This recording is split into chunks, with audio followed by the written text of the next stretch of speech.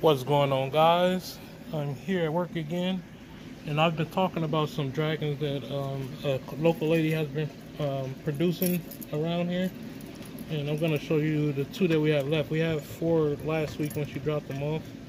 Um, but we have two left. So two sold already. But these ones still have the same same structure, but not as not as vibrant as the colors. So we're gonna go over what I'm looking for when I talk about structure. Uh, first, we'll start with the head. I want the the head to be big, but not like a very pointy nose, especially if it's not a hybrid.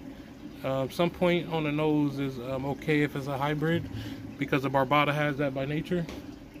But I like a nice size head.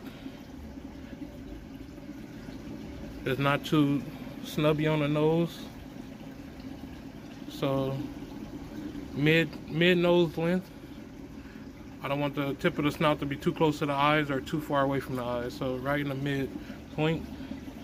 I like to look at the body. I don't want the body to be um, extra long. Sometimes you have dragons with a long torso and a shorter tail, or long tail with a shorter tor torso. I like the torso and the tail to be about the same length, at least the major part of it. Um, you see on this one, the, the, thicker part of the tail um, to the tip about right here. It's about the same length as the from the neck to the base of the tail. And then it has thicker, thicker hind legs and front legs. They're not like little twigs sticking out. Um, they got good appetites uh, good bites. They don't have underbite or overbite. These are wolf hypos. There's one right here too. The body is well proportioned is what I'm looking for. Now it looks like it want to come back. It's running from me at first. As I close the door, I want to come back over here. But it has a, look this one has it was one it was one female that was in a group I was supposed to get, but it sold by the time I came back. Uh, so didn't get her, but I, I still supposed to um, link up with the lady and and get some from her. So hopefully I can do that soon and show you guys that and see if I can talk to her on camera with you guys. But look at that nice nice ham. Ham. What would, what be called on the human? Uh, uh, hamstring? No, hamstring is in the back. A thigh. Uh, nice thigh muscle. Good build overall. It's just a well proportioned dragon.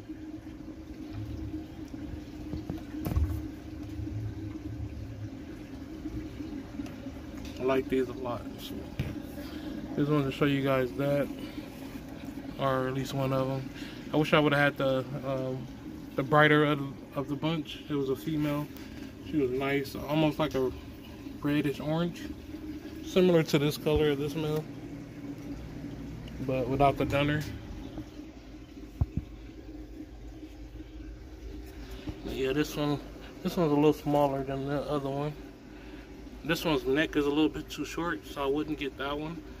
That one has like a more pronounced neck. They don't look like it's, you see the difference what I'm talking about. You can actually see the neck on this one right here. I like that. This one doesn't have that much neck, so I like this one better. When they had a short neck like that, it's more like they look like a um, like a dwarf. But this one has a nice head structure. Um, even the cheeks right there, I like how the spikes stick out on the cheeks. And then it has the actual neck that separates the body from the head and a good sized torso, not too long, not too slender, and then goes into a thick tail and thick thick legs as well. So yeah, those guys are doing good. These little ones down here, they are growing. They're getting nice bellies on them. This is the group I showed you guys eating last week. I'm gonna pick up a couple of them. A couple of them have shed. So the color is starting to pop a little bit more. You guys are going crazy on greens. It's a little nice little translucent leatherback. Uh, it won't let me get them. We have this one. This one has a little toe nip. They haven't nipped each other since um, since we had them. That was prior. Remember I showed you guys this one.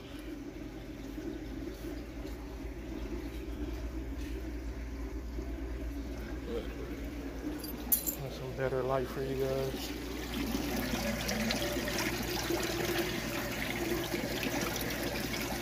Nice little orange. The translucents usually have like a green tint to them. This one does. And then that tint goes away. This one mostly gonna be mostly gonna be a uh, most likely gonna be a, a orange dragon. When it's finished it off, it might have a little bit of bars showing through, but for, for the most part, it's gonna be an orange bearded dragon.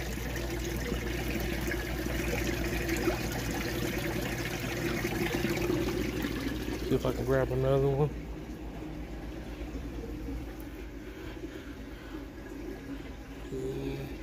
I think this is the one that I said I would choose out of the group. It don't have that much color, but it has that structure that I was talking about. The tip of the nose is not too close to the eyes, so it don't have like a blunt nose. Um, you can actually see the neck separation from the body. Legs are nice and chunky. It's not sinking in right here in between the two legs on the tail. Got a nice sized body.